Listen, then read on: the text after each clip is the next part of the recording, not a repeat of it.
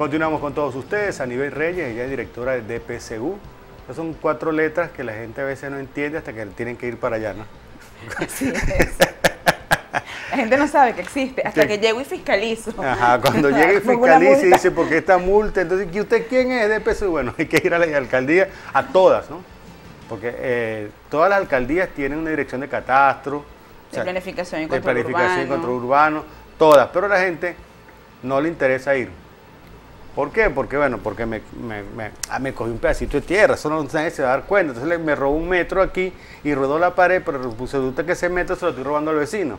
Después viene el problema con el vecino. O se lo robó la ciudad, o, es, o yo eché una pared aquí y resulta que eso era una calle en planificación. Como... sí, lo voy a decir, Usted sale del, Si usted sale del, del centro, usted sube a París, ¿verdad? Imagínese que va en el vehículo, uh, sale obligatoriamente tiene que cruzar a la izquierda. Porque si, de frente va a chocar con el edificio que está ahí. Y a la derecha hay una pared. Pues le cuento un secretico. En el pedul esa pared no existe.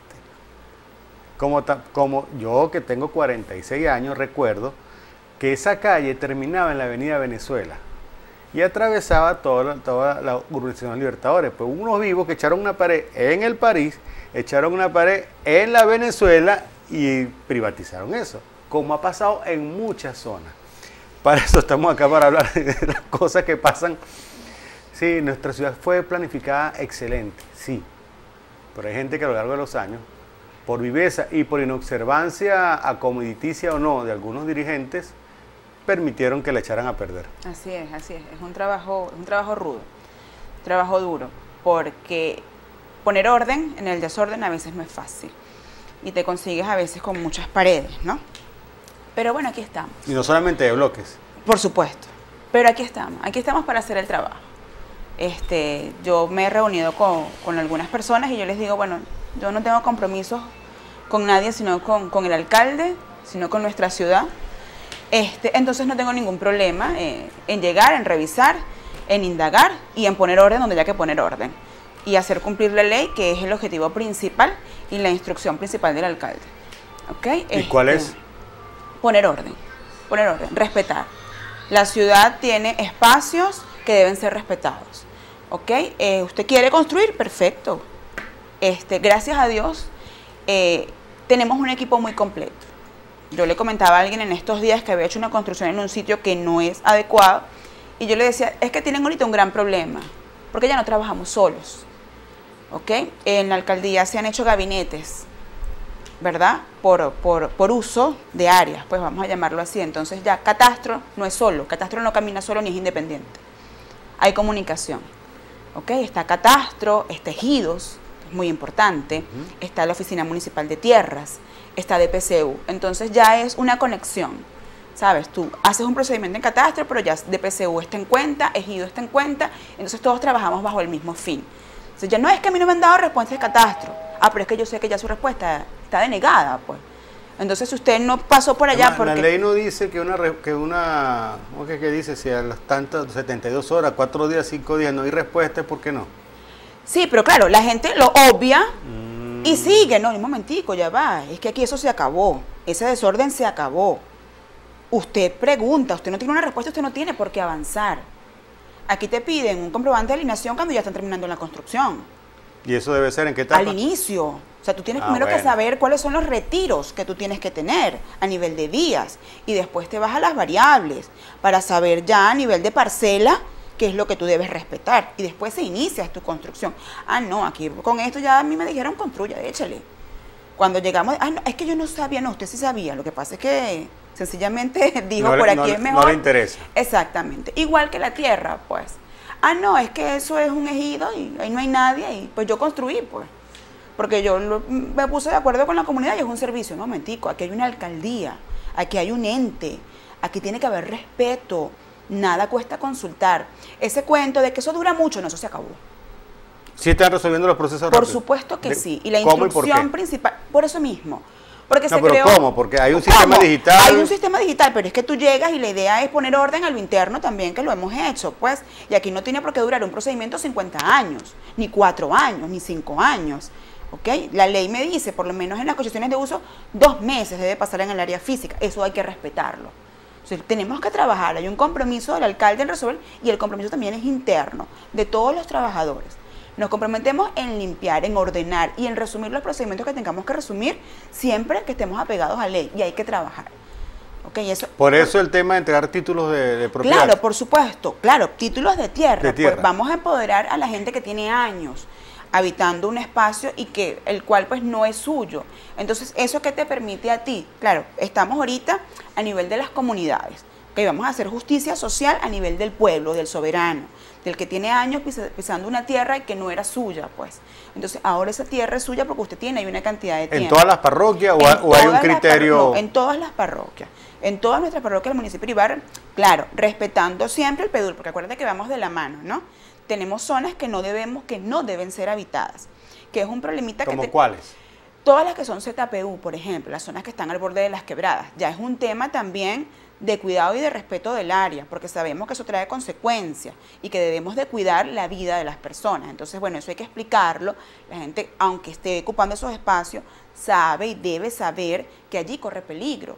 Y es muy irresponsable de mi parte decir, bueno, vamos a dar un título de tierra a 5 metros de una quebrada. ¿Cuánto, es el, ¿Cuánto por norma debe ser el 50 metros. 50 metros de la quebrada. Exacto. Entonces, eso no pasa casi en ningún lado. Exacto, porque, como te digo, la gente ha ido ocupando los espacios sin ninguna regularización, pues, ¿verdad? Entonces, eso tenemos que irlo trabajando también con la gente y enseñándolo. También es un proceso de educación de la gente, cuáles son los espacios. Tenemos comunidades muy respetuosas, por ejemplo está Villa Guadalupe, que está en la Florencio Jiménez. Esa es una comunidad que se ha organizado muy bien y una comunidad muy respetuosa, con unos dirigentes muy respetuosos y conocedores del PEDUL y saben hasta dónde han podido llegar en su crecimiento de población. Sí, eh, ¿Cuál, ha sido el crecimiento y dos, cuáles son las zonas que ellos deben respetar? Ajá, ¿y por qué ese ejemplo no se replica en otras comunidades? Porque te digo, es conformación, también es de estar de la mano de los líderes que tenemos allí de educar y de concientizar a la población cuáles son los espacios que deben ocupar y cuáles no. Ya va, vamos acá. Eh, esto es un tema. No sé. Tema de medicamentos. Ahorita, ahorita me, me enfoco en esto, pero están preguntando necesitamos que nos resuelvan el problema en San José y en el Jebe. Específicamente. No sé, yo estoy leyendo textual. Por eso te digo, o sea, si me dicen específicamente el problema que tienen allí, con mucho gusto los vamos a atender, pues. De todas ah. maneras, hay un número telefónico que es el 0426-557-2727. Allí pueden enviar todas sus inquietudes vía mensaje de texto y nosotros estamos pendientes. 0426-557-2727. Anótenlo ahí rápidamente. Allí nos pueden enviar todas las solicitudes que, tenga bien la población o cualquier pregunta, cualquier inquietud, igual que cualquier denuncia. Nosotros estamos en contacto por allí. El tema, este, a mí me llama la atención, veía el día de la actividad, veía a las personas que se, se quedan con su título de, tierra. de tierra, ya con su título de tierra, ya su parcela, ellos ya este, la municipalidad les, da otro da otro de otro documento solamente No es ese, porque ya con eso ellos tienen, porque acuérdate que es la, eh, la mayoría de los espacios son ya espacios habitados, ¿ok? los cuales ya tienen su vivienda. no un terreno baldío. No, no, no estamos hablando de terrenos, no, no, no, no, son, o en su defecto, terrenos que están, que, se, que fue una entrega este, comunitaria, o sea, fue a una población, porque son terrenos ¿Y si yo pasan... quiero comprar uno? A la, a la inmobiliaria nacional que va a construir vivienda. Y si usted, bueno, hay que presentar el proyecto, hay que hacer la, solicitud y presentar el proyecto, porque primero empezamos con una concesión de uso, ¿ok? Se inicia todo el procedimiento y revisión del proyecto que se vaya a hacer allí, pues. Ah, o sea, ya, ya, yo hice, por, yo hice la pregunta, este, yo tengo que llegar, mira, yo quiero este terreno porque voy a construir esto. Una claro, hay que ver la cualidad jurídica también del terreno, si es ejido o no es ejido. ¿Ok? Porque aquí no es que cualquier terreno tampoco nos vamos a meter, porque hay terrenos obviamente que son privados. Igual se revisa su tradición y eso se respeta, ¿no? Cuando se demuestra que en realidad usted es el dueño del terreno no hay ningún inconveniente. Ahora, en cuanto a los terrenos ejidos, pues sí hay todo un procedimiento que hay que cumplir. ¿Cuánto queda de ejido en Iribarre? Mira, estamos en, porque es que realmente cuánto tenemos de ejido aún no hemos podido determinar, porque pasa lo que, ha, lo que ha sucedido, que han ocupado espacios y dicen ser privados y cuando nos ponemos a indagar resulta que no son tan privados como la gente piensa. ¿ok? Entonces, en ese, en ese proceso estamos. Tenemos más terrenos ejidos más hacia la Florencio Jiménez, Cujita Maca.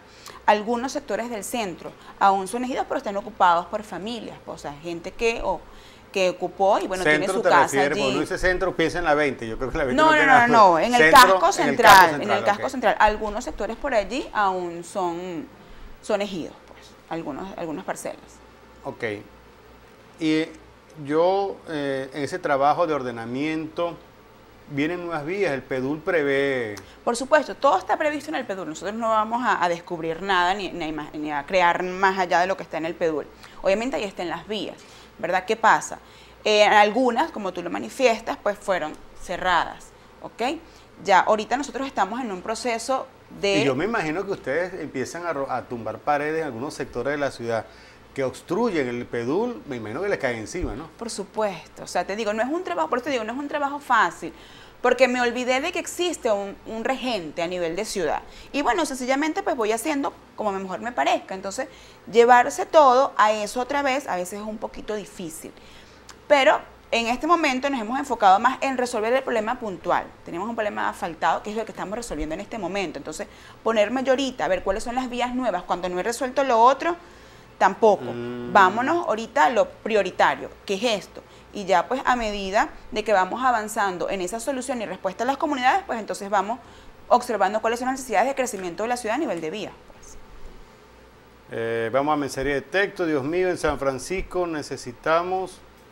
Ah, no, que la policía vaya a la calle 3. No aguantamos a, a unos sujetos ahí, no seudónimos. Yo pensé que era un tema de, de ordenamiento. Eh, vamos a la pausa. Al regreso quisiera, eh, porque siempre uno habla Juan de Villegas, pero o sea, hay Juárez, hay Buenavista, o sea, hay otras parroquias para las cuales eh, podemos conversar. Ya venimos a nivel Reyes, sigue encargada de PSU acá en Ibarren. 0414-505-1932, el número de contacto.